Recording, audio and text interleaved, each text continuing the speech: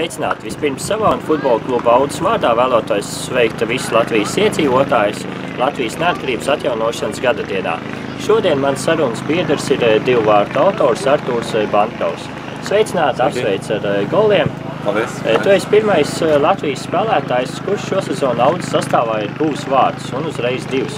Vai varētu mazliet pakomentēt vārdu guvums?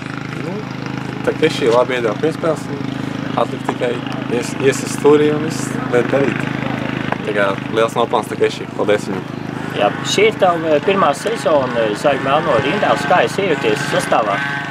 Ļoti labi.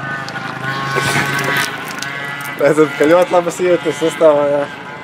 Komandas bija drūpējās par, par manu tīrību arī. Kā.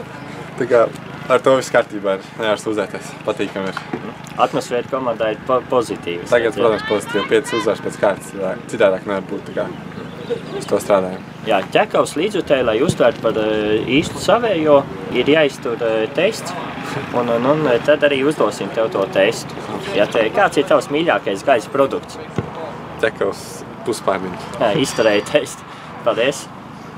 Tad, Pirmajā puslaikā mēs iesākām ļoti pārliecinoši un praktiski arī varējām spēli jau novest līdz, līdz uzvarai pārliecinošai. Tomēr otrā puslaika sākumā nu, tāda spēle kļuva diezgan nervoza. Ja? Un pie 2-1 varējām arī ielaist to otro golu. Kādēļ paši sataisījām tādu intrigu?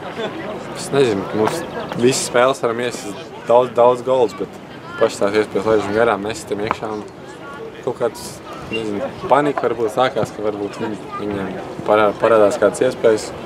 Es domāju, ka mēs, nezinu, diezgan, kā lai pasaka, zinām, ka to dabūsim pozitīvu rezultātu, tāpēc arī, arī tās dažas minūtes kaut nenospējām tik labi.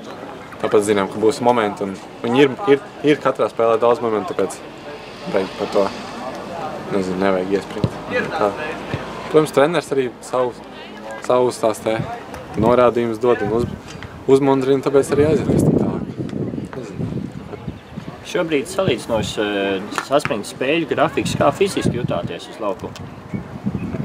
Nu, šodien vēl bija, šodien vēl bija labi, varbūt nākamajā sestdienā jutīsies kaut kāds nogur, nogurums, bet, bet treneris visu sabalansēja, maiņas salika, tā kā viss bija izdomāts, pār, pārdomāts. Par to, par to problēma arī nebija. Pats nebija dusmīgs, ka tev nomainīja? Nē, protams, ka nē. Mēs jau bijām sarunājuši, tā kā treneris bija molējums to un tad jau rezultāts ir, tāpēc nevar dusmoties.